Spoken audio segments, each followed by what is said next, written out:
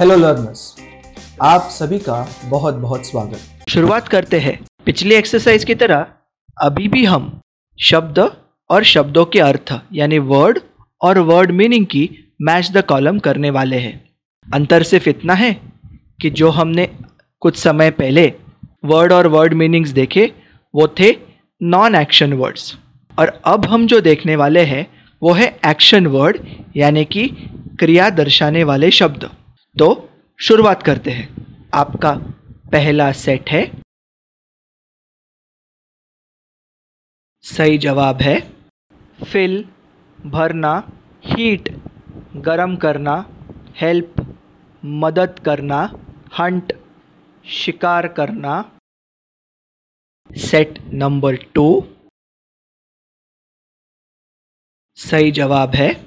Increase, बढ़ाना kick, लात मारना, लाफ, हंसना, मेल्ट, पिघलना या फिर पिघलाना।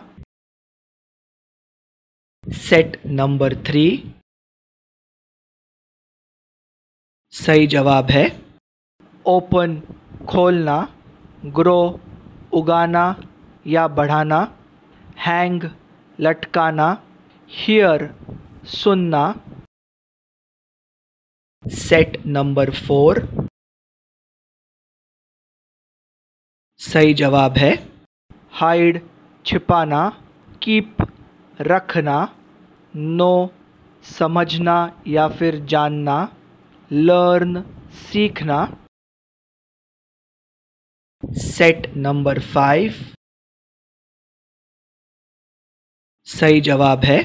लीव छोड़ के चले जाना या फिर चले जाना लूज़ हारना L O S E lose यानि हारना और L double O S E मतलब ढीला मेक बनाना और मीट मिलना।